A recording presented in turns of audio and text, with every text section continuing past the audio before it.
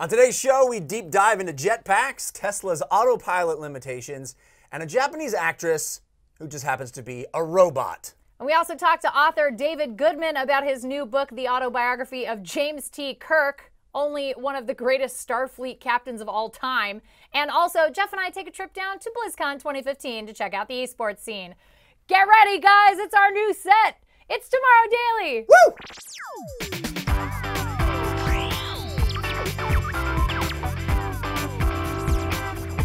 Greetings, citizens of the internet! Welcome to Tomorrow Daily, the best geek talk show in the known universe. It's actually a talk show this time.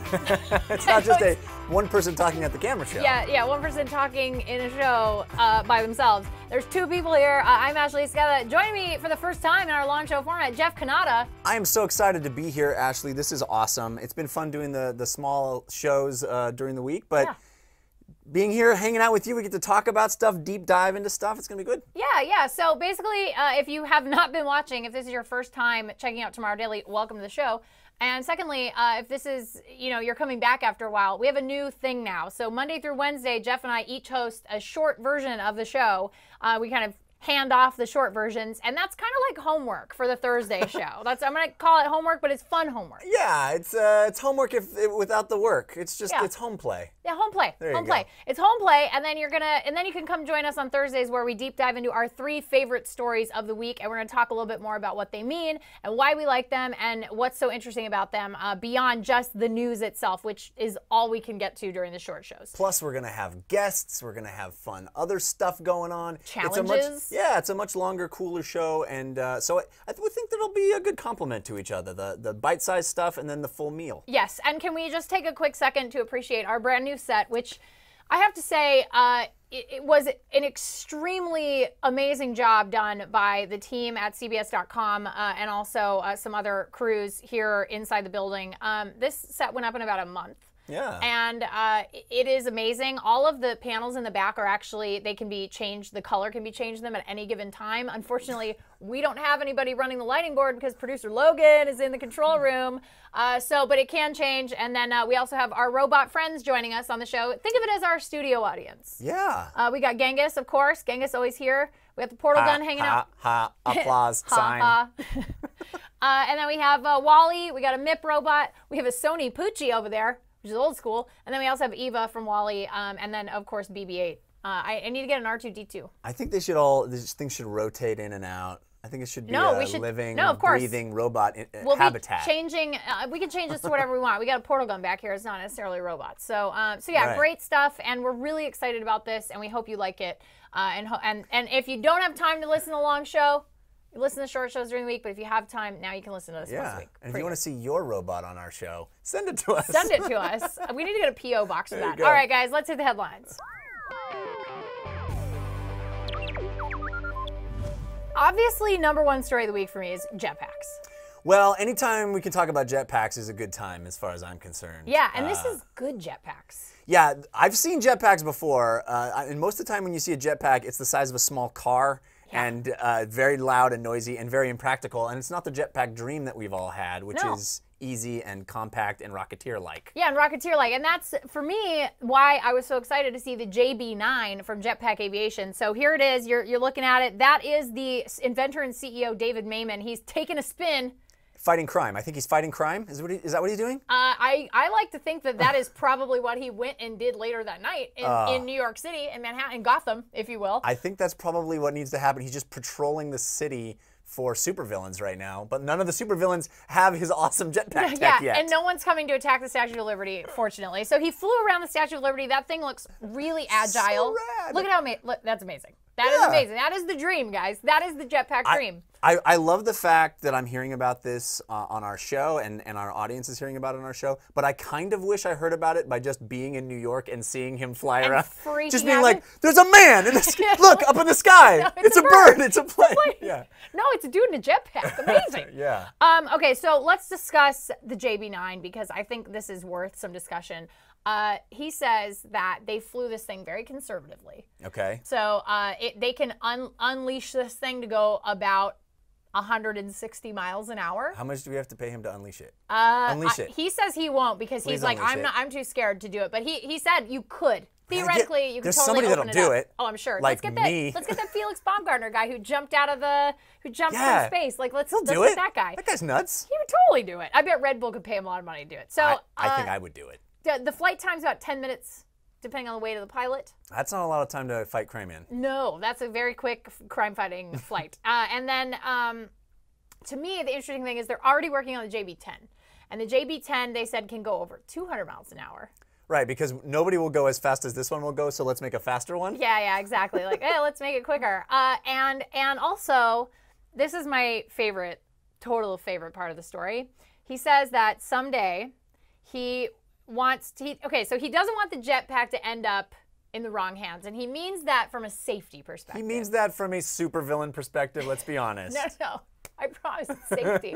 yeah. safety safety from supervillains i'm assuming that's correct um, so he so he says i don't want it to get into consumers hands too soon because uh, this is a direct quote which is my favorite he's like um, I'd want to feel like we have an infrastructure to train them. We could technically just send them the unit in a box and say good luck, but it's Jetpack Corps. jetpack. I know, I know. I want to be part of the Jetpack Corps. he said, but it's not necessarily going to end well if you're doing 200 kilometers an hour, five feet off the ground. You know, like if you have no idea what you're doing. Right. Yeah. So we gotta that be, is not gonna end We have well. to be a trained super soldier program. Yeah. Of Jetpack Corps. So that we should call it the Rocketeer University. That's I'm what I. I'm ready. saying. I'm ready. Sign me up. Please sign me up. My favorite thing about this, you told me about it, uh, that th- it's actually powered by kerosene, Yeah. which seems a little steampunk to me. it, okay, so they actually are calling this Jetpack Aviation is calling this the the a true jetpack, and the reason why is because it uses turbine engines as that's what powers it. And Right. so there are competitors like the Martin jetpack. This is, that's the enormous one. That's the really big one. Yeah. Um, and the Martin jetpack uses a piston engine, so it drives a bunch of fans. So it's not really like a true jet pack. right. It's a fan Um, pack. Fanny, it's, ki- a fanny It's pack. a fanny pack. Yeah, it's really it's a fanny pack, and also it's huge. And and this particular jetpack, the JB9, is able. He said you can store it in the back seat of a car. You strap it on. It's a ba- it's an Right, actual 'cause you want to drive to your jetpacking location. No, no, no. You don't want to do that because that's that's you're That defeating the the purpose. purpose. Yeah, you're completely defeating the purpose. But he says, uh, and then also the guys in Dubai who do the jetpack flying. Have you ever seen those videos? No, but I'm going to be searching for them as soon as I get home. Yeah, they're amazing. So these guys who fly over Dubai, which we've seen on the show before, um, actually use uh, they use turbines, but they don't use them for hovering. They actually just use them for thrust. So they have wings that they use, almost Right. like they look like flying squirrels. Yeah. They fly around and stuff, but they use j- uh, turbines just for thrust to go forward, not not hover. But This guy can can fly. he can hover. He can. I mean, he did a little pirouette in front of the Empire State Building, or the Empire State Building. The when can I Statue of buy this? Uh, he says not yet. He, uh, but the Martin jetpack's going to go on sale next year for one hundred and fifty thousand dollars. Oh, I got to start saving. So I got to start, saving for that. Putting away that cash. It's a lot. That's He does more than I anticipated. He does say these two things uh, before we move on to the next thing. He says someday they want to get to a point where uh, you're going to be able to put on the pack, press a green button, and immediately hover, suspended hover. oh, for naps. I just want to hover and Hover take a nap, nap. Just like amazing. how comforting Ten would that minute, be? you'd only get a ten minute nap. I could do that. And then, nap. uh, and then he says he also wants to put together jetpack races. I, I know that's that's the face everyone's making right now. Come on, I would jetpack races. forget horse racing. Let's just get rid of that. It's the, Forget it. it's literally the luge of the sky. I know. So I think ABC should really pick up on this, and we should have BattleBots paired up with jetpack racing Ah. yeah. in the summer programming schedule. The only problem is the massive death count that jetpack racing is undoubtedly going to yield. Listen, they know the risks. That's all I'm saying. Uh, Uh, I have another story for okay. you. Um, there is uh, one of my favorite things. I'm ready for this as much as I'm ready for jetpacks. I am ready for self-driving cars. everyone in LA is ready for a self-driving car. I, I, I don't understand people that say no, I don't want a self-driving car. Give it to me. I'm ready. One of my really close friends is leasing a Tesla, Oh, and he has the autopilot feature. He showed it to me. it's Tesla's amazing. I'm ready for this. Uh, this is amazing. updates yet. But just like everything else on the internet, the autopilot feature is getting ruined by people on YouTube. Maybe abusing the privilege of having autopilot. Yeah, it turns out that uh, Tesla's going to have to do some some sort of management of this because people are posting videos of themselves doing some really reckless things. I saw a very interesting video. It's this one right here. Uh, this is Estonian Anonymous, which I'm assuming is a cousin of Kale's. Kale, Kale Anonymous and Estonian Anonymous. Uh, this guy from the Netherlands, um, he, he he climbed into his back seat and let his Tesla drive him around. I kind of love this, Seems like a really bad idea. but I don't like the fact that it's on YouTube for. He's ruining it for all the all Yep. of us. Don't don't publish this on YouTube because now Tesla's like, hey, we're gonna limit this. But it's awesome. Like that's what I want. I want to be able to just hang out in Just the back let it seat drive you? and lay down. Ugh. You you'd be you wouldn't be able to do this. Okay. I feel like this is the first major move forward in technology that is that scares me as an as an old person. Like, like that's a crazy thing to say. Yeah, it's But, out of your comfort zone. It's out of my comfort zone. Yeah. So so this is the first bit of technology where I'm like, I would genuinely be terrified. Maybe because I'm a control freak. That's probably why. Yeah. I'd be terrified to give up control of my car because car culture is so big in LA. Like I I live in my car. I mean like but you know what's better than, at driving cars than you? Computers. robots. Yes. Yeah, totally. And and so I get the value of it, but I'm I'm really scared of the idea. Like it's gonna take some getting used to to like give up control in a car and be like, okay, uh, okay, Siri, take me home. And Siri's like, I got you, and like takes me I'm home. convinced that our kids' generation and their kids' generation are going to be mystified that we ever let humans drive cars. oh, why do we let They're people gonna be like, drive these "Wow, things? people drove those. Did, did anybody die? Oh yeah, lots of people died all the time. How it's gonna be like when we hear about leeching in the Middle Ages or something. It's gonna feel uh, insane. And I think we, we just need to. Cars are the fourth biggest killer of humans. Yeah. If somebody came to you and said, "I have the solution for the fourth biggest killer of humans," you'd go, "Let's do it." Sign Yeah, or the fifth. Like if they said, "Hey, listen, uh, we figured out heart disease. Yeah. It involves dropping a little robots to clean up your arteries." all you got to do is, Yes. is release a little control in your life. Yeah, see, that's hard for people. They don't Ah. like that, and I think it's tough for some people who have, dri- I mean, who've driven cars their lives. I'm a, I'm a, I'm a lifer in the commuter sense. Like, I mean, I've always driven, Yeah. and so for me, it's it's scary. It's really scary.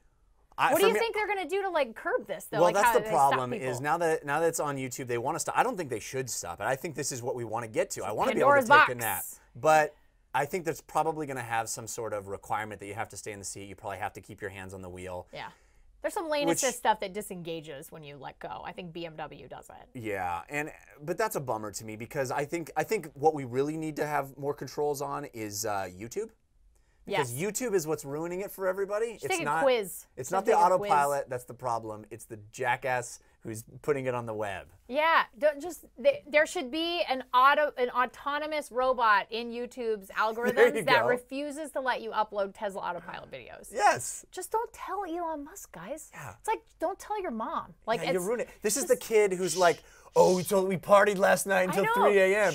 You're like, "Shut up! shut up, you're ruining it for everybody. Everybody's having a good time right now." Everybody's making it work, but there are some. There have been some close calls though, like people going, "Oh gosh," like and having to recorrect. Right. But they're using it wrong. They're using it too fast. The the system can't correct in time. I th- I would guarantee you that there's going to be more problems from the people overcorrecting than it is no, from like the, the computers. The, the that's why they said we're going to limit this because people have been letting them uh, drive uh, hands free at like 90 miles an hour. Yeah. And then when it hits a curb, it, it hits a curve and it goes the wrong way, or it starts going into oncoming traffic. Like not good. Mi- so minor details. we're gonna details. start. Listen, mark my words, friends. We're gonna start seeing some very serious accidents with Teslas unless people start being responsible. Uh, sign me up. I'm ready. I'm ready. you ready to be irresponsible? I'm ready to be uh, as irresponsible. I'm just pushing myself into the future, one irresponsibility at a time. Fair enough. All right, I like that. We should have a T-shirt that says that. Pushing ourselves into the future, one irresponsibility at a time. Uh, let's talk about Geminoid F. Okay. Robot actress. This is pretty exciting stuff. I, I find this super fascinating. Uh, Geminoid F is a robot that was built by Hiroshi Ishiguro, who's a roboticist in Japan. I'm sure you've seen this guy on like Discovery Channel, Science Channel. He's the guy who built the robot. He's older Japanese guy. Looks and the robot looks just like him. Yeah, it's a little disturbing that you would build a, a, a mini me. A Yeah. a, oh, it's not even a mini. Yeah, it's, it's, a full size. Yeah, it's full size me, a robot me. Uh, so he also made Geminoid F, and so Geminoid F is in this movie. Here's the this is the trailer for it from Phantom Film called Sayonara.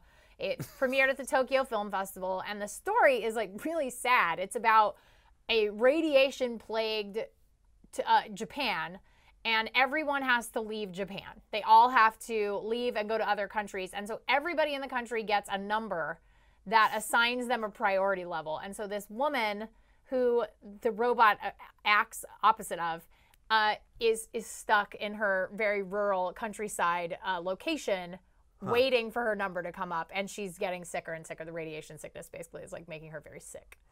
So, uh, Still, still more compelling than Nicolas Cage, this robot. but actor. not as compelling as I, I know. I was gonna say slightly more, slightly more emotional than Kristen Stewart. Has, has the robot been on camera? I, I haven't been able to pick out the robot. Well, that she was there. Yeah. Uh, it's she acts as her like I guess her lifelong kind of caregiver. Uh, and so uh, Leona is the robot's name. There that she her? is right Oh, there. okay. Yeah, that's her.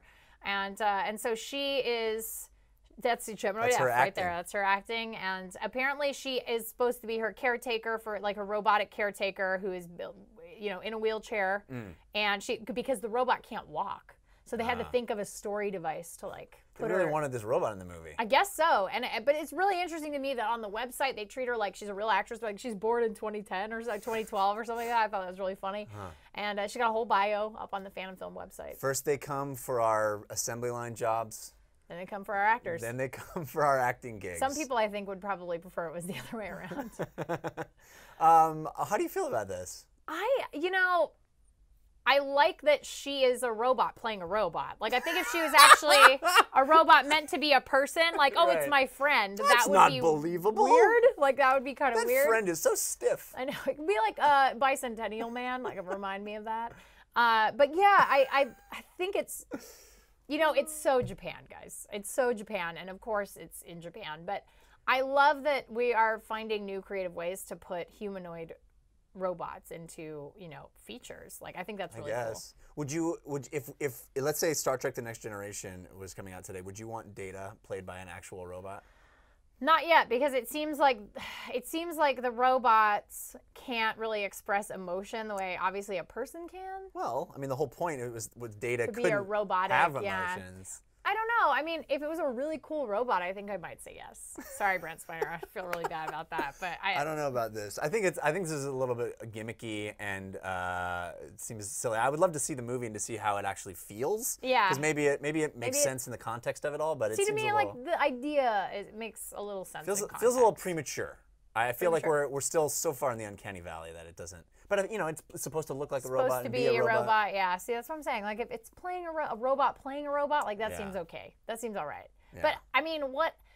Do we think that maybe there are actors already out there that have been replaced with robots? Because honestly, Oh, maybe maybe we are have all been watching movies. Maybe Mark whole time. Wahlberg has been a robot the entire time. I'm just saying. I mean, listen, guys, Julia Robots. Cyborg Bullock. get out. Julia Roberts. Oh, Julia Roberts. yeah.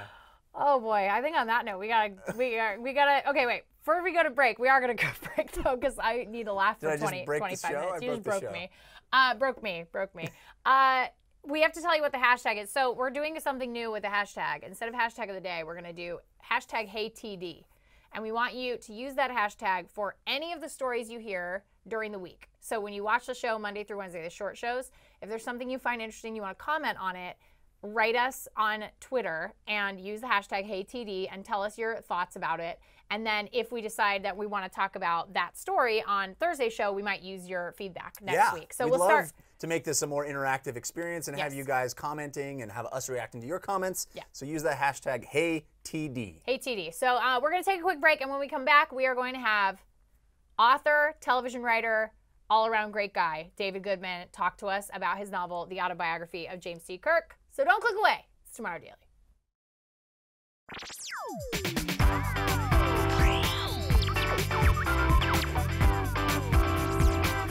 Welcome back to the show. The gentleman we are about to talk to has a pretty fancy pedigree. He has written in television for 26 years and has written for shows that you love uh, Family Guy, Futurama, Star Trek Enterprise. And now uh, he's got his second book out, and we're going to talk to him about it. The book is called The Autobiography of James T. Kirk, which we love. And the author is David Goodman. Thank you for being here. Thank you so much for having me. I'm so excited. You are our very first guest on the new I- long show. I, I think that's somehow sad. To know. we think it's awesome because your book All right, sounds super All right, awesome. Very good. Well, Maybe someone out there is crying. They're like, oh, this is the worst. How does someone get to write the autobiography of James uh, T. Kirk I'm and going to not hold be, up the book. Yeah, not please. be James T. Kirk? Uh, you know, You're a uh, ghostwriter. He's a he's a he is a fictional character. Yes, that's true. So he did not write the book, but it was um, the idea of the book was this idea that he's writing it in his own voice. He's towards the end of his life. He's looking back, and uh, I got to write it. I had written another book, another Star Trek book before, and uh, a friend of mine named Dave Rossi, who who's worked on a lot of the Star Trek shows as well. Uh, it- this was actually his idea, and he thought I would be the right guy to write it. And uh, I was very nervous at the beginning to write it because I can imagine. Star Trek fans are very passionate, and if you get it wrong, they Well, don't how do you forgive know They will it- tell you, yeah. How do you even know if- if it's wrong? Even if you get it right, they'll tell you it's wrong. So it's uh, well, I, I am the biggest Star Trek fan. Uh, there's really no way to prove otherwise. Also, but- ladies and gentlemen, we are talking to the world's greatest and biggest Star Wars Biggest- fan. Oh, I forgot to good. mention that in the honorifics at the Star beginning. Trek. Star Trek. I'm sorry, I I don't think I'm the biggest Star Wars. I like Star Wars. yeah. but not yeah, Yeah. Star Trek. My bad. um, you know, you've you've wa- I've watched all the episodes, I've watched all the movies, and it became a bit of a puzzle. Like, what do we know about him, and what needs to be filled in? Yeah. And it's uh, there was lots, whole swaths of Kirk's history that had not been written about. Did you get to make it up? I essentially made it up. And how do how do you get to be able to make it? Is there like some sort of core group of people that maintain yeah, is the there a? James T. Kirk or Star Trek council, like a lore Yeah. master? No. Okay. Would that be you? Maybe that's it, you maybe now. it's me now. Maybe it's me now with the book. But the um, I'm holding it up again. But the uh, Mike and Denise Okuda. I don't know if you're Sure. familiar with their names. They've been involved with Star Trek for a long time, and uh, they wrote a chronology, which ends up being kind of a source for me of.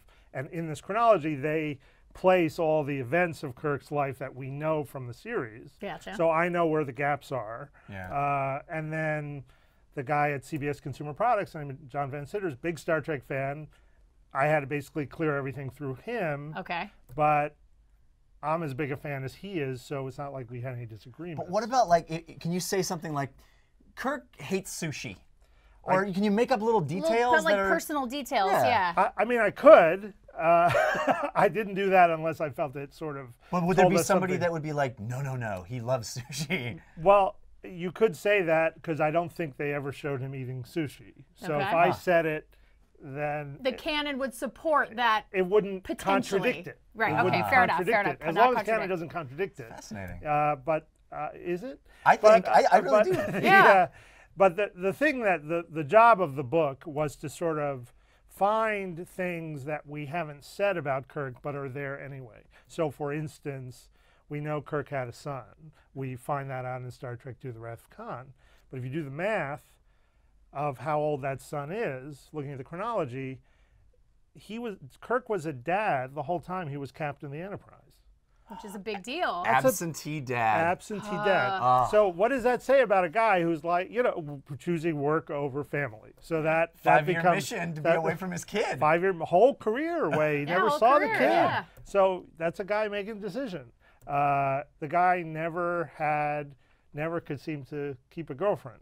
Uh, now people might say, oh, he was having fun, but there were all sorts of things in the original series that implied that Kirk was very lonely. Mm-hmm. So what, if he's lonely and he's a good-looking, charming guy, What's the problem? what's the problem? So these were all sort of things that I was kind of playing with Yeah. without contradicting things we'd seen already. Is there any That's great. comedy in the book? Is it is it a st- straight like legit autobiography of Kirk? you know, the, it is straight, but like Star Trek, which always had moments of humor, Mm-hmm. uh, there's moments of humor. So, for for instance, uh, there's a Star Trek episode where Spock is getting married, and at the end of that episode, uh, Dr. McCoy fakes Kirk's death in front of one of the leaders of Vulcan, and so I, I have a scene later on where this leader of Vulcan basically says, "What what the f- can I can I curse on?" No. But we'll bleep that. Don't worry. We'll bleep that. That's fine. Uh, but, What the uh, this Kirk? is a family What the hell? What He says, the "What the Kirk? Kirk?" What the What hell? the Kirk? What the Kirk? What the hell? What the Yeah. hell? You said you, you were dead. What happened? And then she also maybe says he's put on some weight. So that there there are sort of moments, and then the way I deal with some episodes, which I felt were somewhat ridiculous. A reader reading it might see that I have that attitude towards that episode, but I'm not dismissing it at all. Right. So So, uh, in terms of technology, I mean, obviously, you've written for a lot of shows that have Right. Futuristic technology in them, and many of them are very optimistic about the future. So, for you, what is the most exciting technology that exists right now? Uh, I, I I think it's the technology that made that Star Wars robot toy. The It's BB-8, just yeah, Yeah. It's just amazing to me that they made that.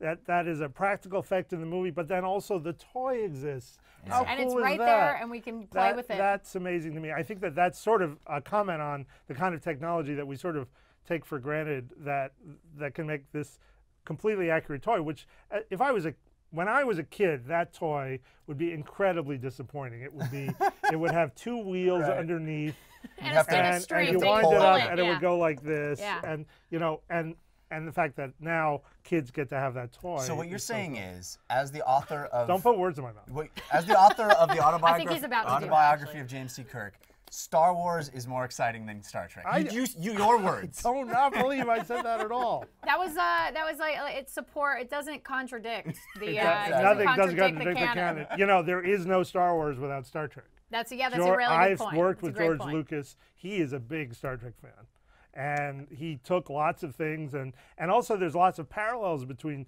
uh, how Star Trek was originally produced. The technology that they had to create to do spaceships week in and week out is very similar to the the technology that Lucas had to create to make Star Wars. It, Mm-hmm. They were both groundbreaking properties, and they both created a world that fans love to live in. So there's lots of similarities. And Yeah. another similarity is we're getting a new Star Wars, but it sounds like we're getting a new, we're getting a new Star, Star Trek Trek. TV series. very Yeah. exciting. It, what are you looking forward to for that? What do you hope that it is? I hope it's smart. Uh, I'm very excited because it's clear that CBS sees this as something they want to be big and succeed, and and and so it'll be it'll be big. Uh, to me, Star Trek is always about the writing, Yeah. and the Star Trek shows that I have loved are written by people who are much smarter than me. So I hope they find somebody much smarter than me who writes this show uh, well. Uh, that's about all. Do you think um if But if even if, you it's even if it's terrible, I'm going to watch. So it doesn't Yeah, matter. of course, yeah, no, we will too. If if hypothetically speaking, let's say like someday you become the showrunner of this new Star Trek universe, like, Mm-hmm. Or if we just gave, if they just said, okay, they call you tomorrow and they say whatever you want to make it.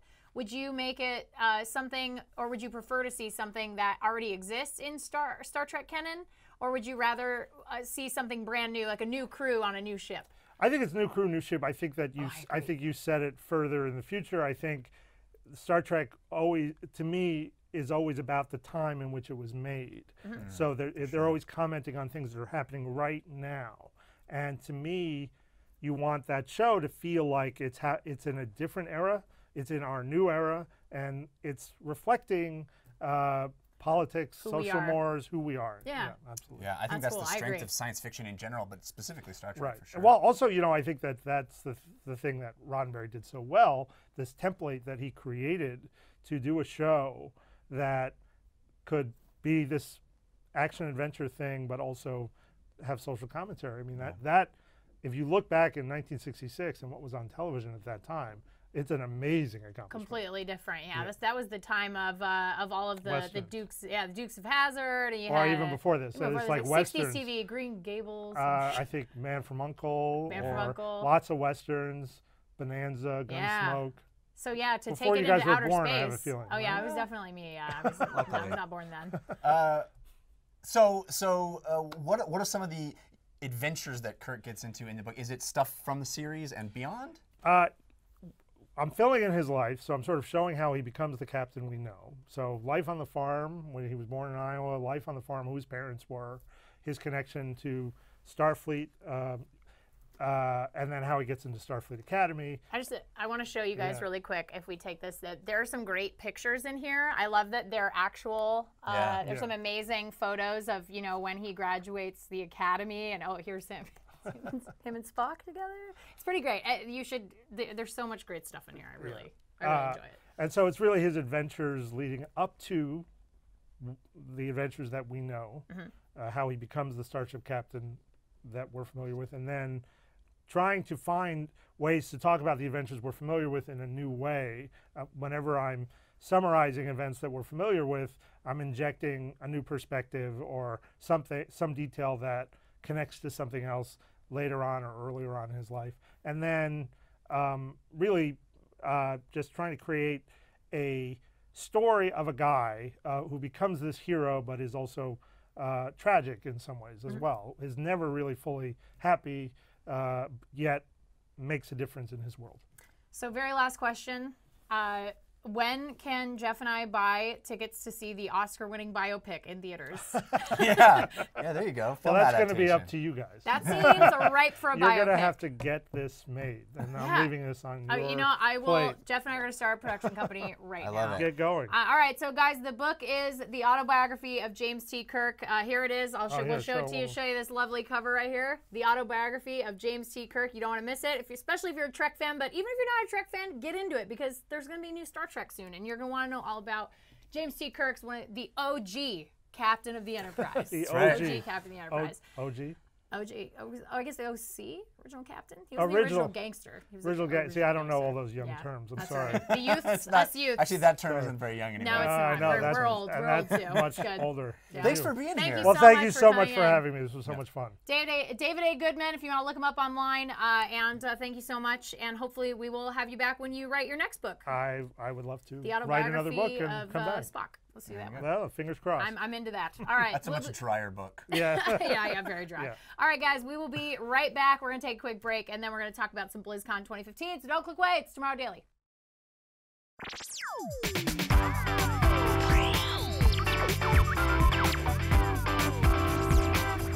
Welcome back to the show. Uh, that was a delightful interview. It was delightful. He was great. And speaking of stuff that's great, we were down in Anaheim this weekend checking out BlizzCon 2015, specifically looking at the esports phenomenon. Check it out. If you haven't been paying attention, esports is a huge industry. Some analysts are predicting it will net over $600 million worldwide in 2015, and it's only growing. At this year's BlizzCon, Blizzard's annual fan convention, esports proved to be one of the show's biggest draws. The Olympic Games of esports is happening here. Four World Championships at BlizzCon. Four, and it's super exciting. Everybody here is really, really thrilled to check this out and see who the champions are going to be. Most game studios involved in esports have a single game in competition. As we mentioned, Blizzard has four. StarCraft 2, the uber popular real time strategy game that pits Terrans, Protoss, and Zerg against one another in a military sci fi epic. Mega MMO World of Warcraft's Arena Championships featuring PvP teams duking it out for glory. Blizzard's newest game, Heroes of the Storm, a free to play multiplayer online battle arena starring playable characters from every game in the company's arsenal. And Hearthstone, the collectible card game for PC, smartphones, and tablets that lets players build custom decks and face off against local or online opponents. They're four very different types of games, and even though every game's dev team knows the ins and outs of each one, esports players always make it interesting. I think they always surprise us. They are always doing things at a level of play that is so far beyond what any of us are capable of. Who's going to deal all the damage for Cloud9? Who's carrying the flag and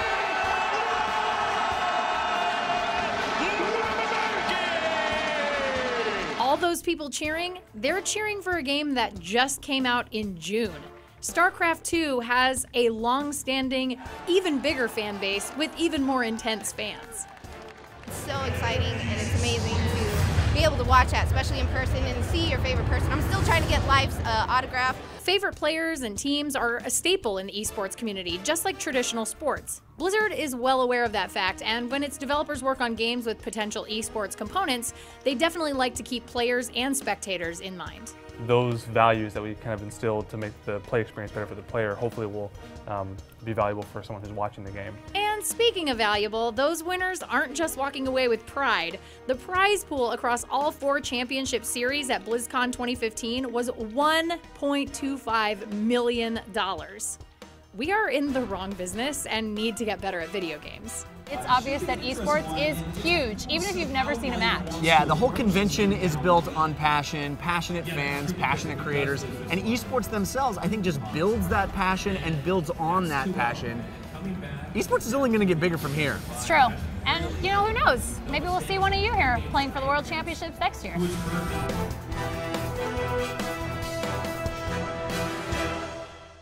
Uh, BlizzCon was so good. That Yeah. moment, that moment where the player from Cloud9 picks Murky, the whole crowd just went ballistic. It was such a Yeah, you see it in the in the package we just showed that moment. It, it, they their team composition was so bizarre. They had one warrior who's kind of the tank. They had two healers and two specialists, Murky and Abathur.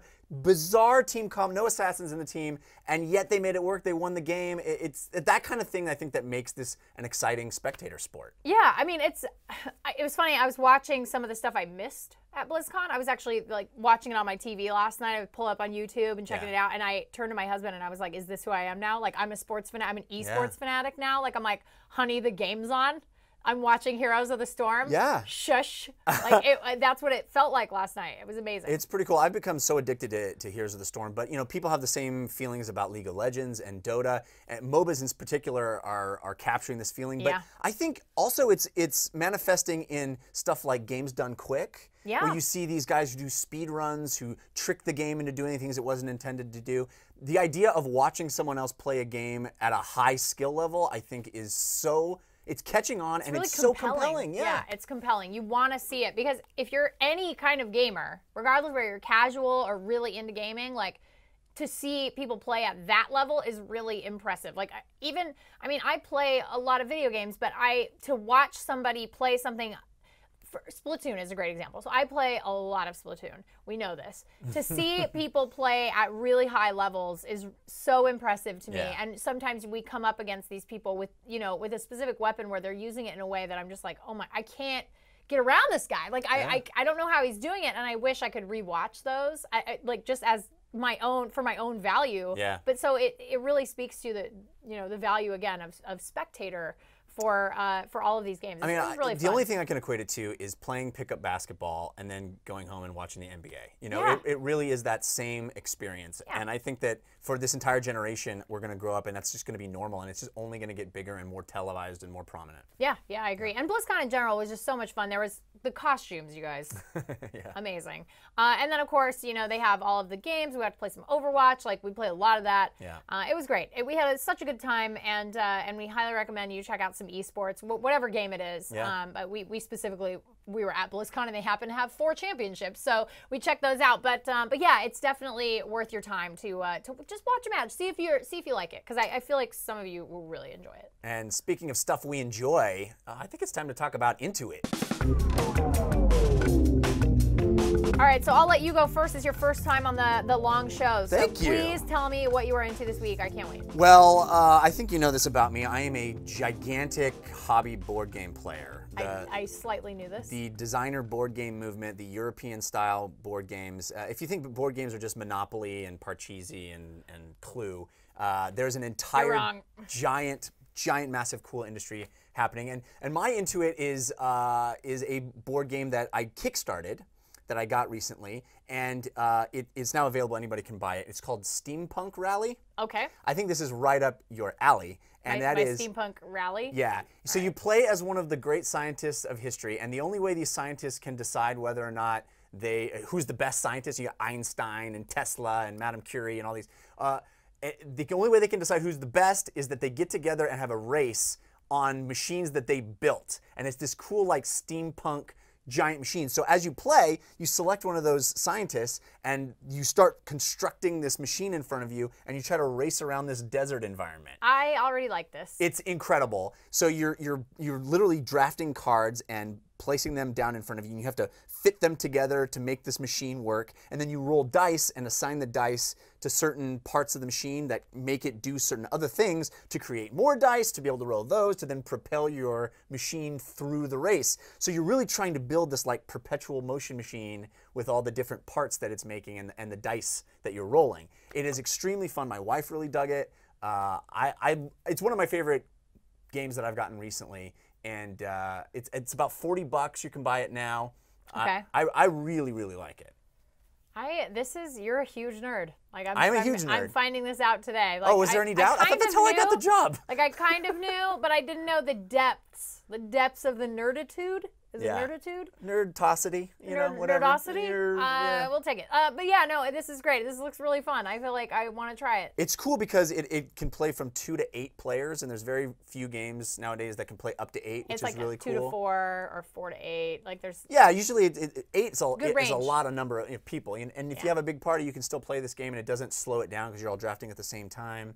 Um, yeah, and, and board games are great. If you know, I love video games, but there's nothing like sitting across the table and being social with someone, having drinks, having some food, and playing a physical thing.